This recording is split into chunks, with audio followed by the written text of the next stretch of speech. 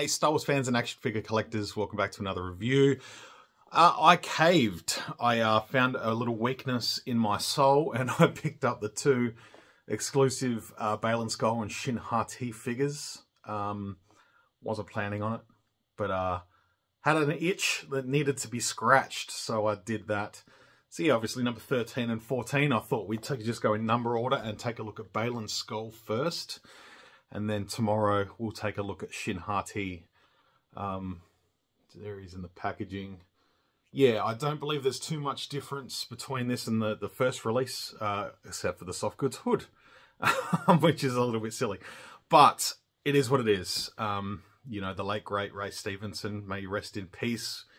Definitely be missed for any future stories with uh, Baylan Skoll. I hope we, I do hope they recast and continue his story. Um, it's going to take someone pretty high caliber to to capture the the screen presence and overall pull of what Ray Stevenson was able to do with this character. And uh, yeah, part of the reason why I picked these two characters up, they were just two characters that completely captivated me from the series. So a little write up on the back there. Great picture of uh, Ray as Baylan there, and on the side.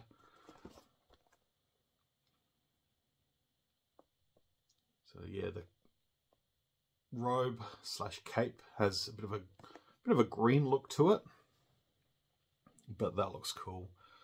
I'm looking forward to busting this one open. Looking also looking forward to replacing replacing the lightsaber blade.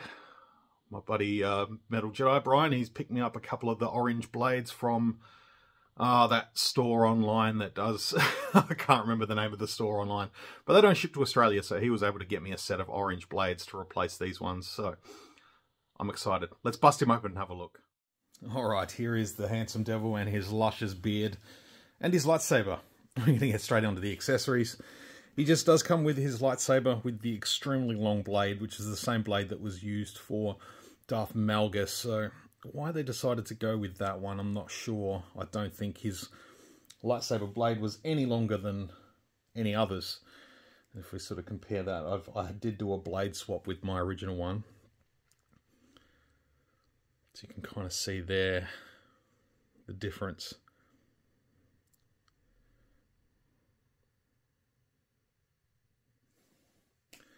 But yeah, it's still it's still red, maybe a little bit of an orange tinge depending on the light.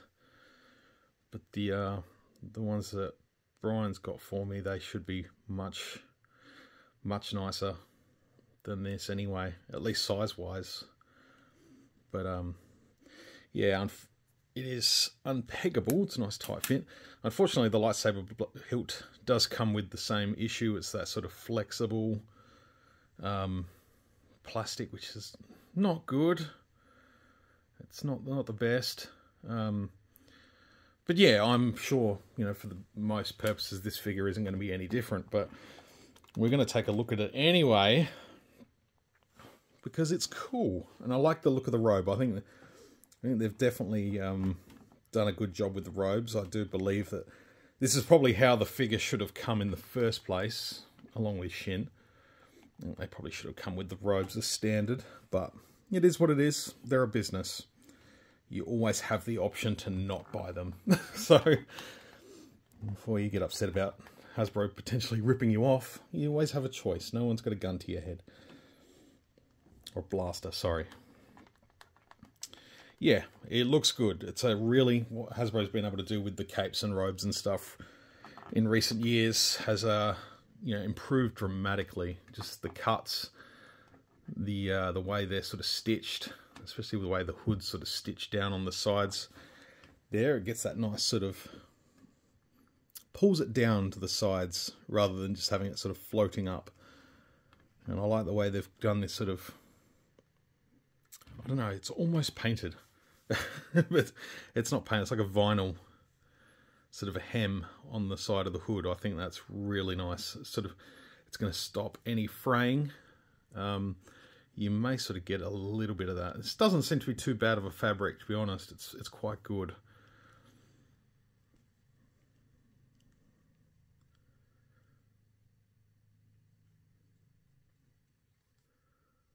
Looks nice. And, you know, if you want it to be a little bit darker, you can always dye it.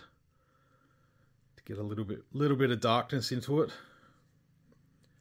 But I don't know. I kind of dig the green. It's sort of, you know, he's got the sort of the green on the belt buckle there, and then on the outfit, he's sort of got those sort of tealish sort of highlights to sort of show weathering and stuff like that. So, in terms of the head sculpt, it looks really nice. They've done a good job again. Again, I don't think it's any different. We'll get a little side by side while we're here.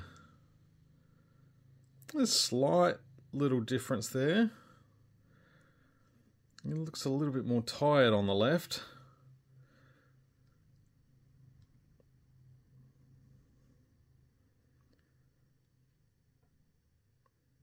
But yeah, still good either way. Still nice.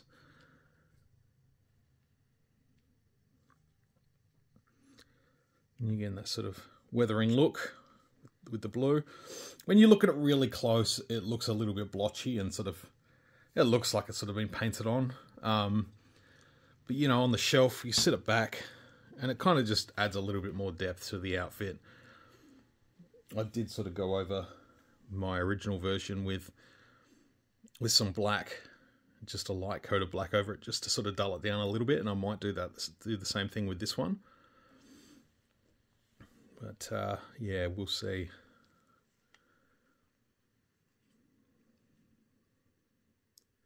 So I do love his outfit. I think it's really good.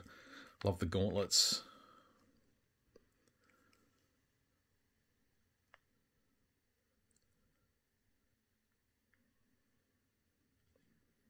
I'd love to know where they, where him and Shin both sort, sort of source their, source their outfits. Whether there's some history behind it or whether it's just something they they put together themselves, but I don't know, I really like it.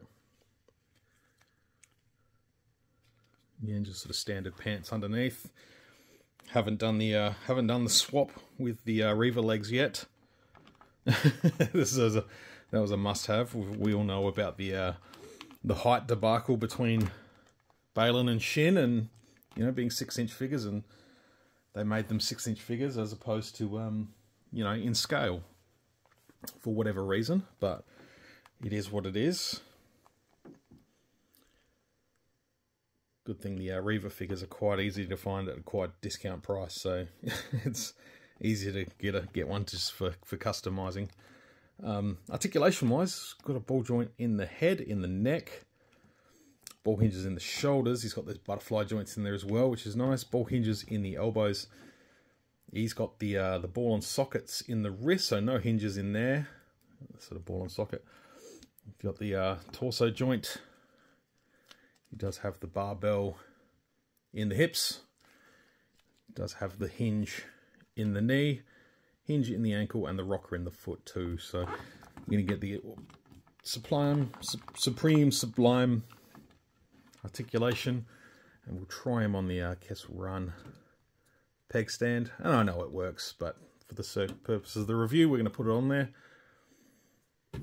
And uh, you know, peg his lightsaber.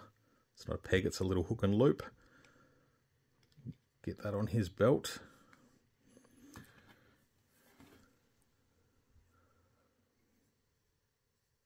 Get that robe back on him. Yeah, he looks fantastic. I like the robe, just gives him that, that sort of, heightens the sort of broad shoulders that he just has that big booming presence. But uh, I did do the leg swap with the original Baylan, so you can get an idea of the height difference. They're both on stands. So just to boost him up that little bit. Doesn't look like much, but it definitely um, definitely aids the accuracy there.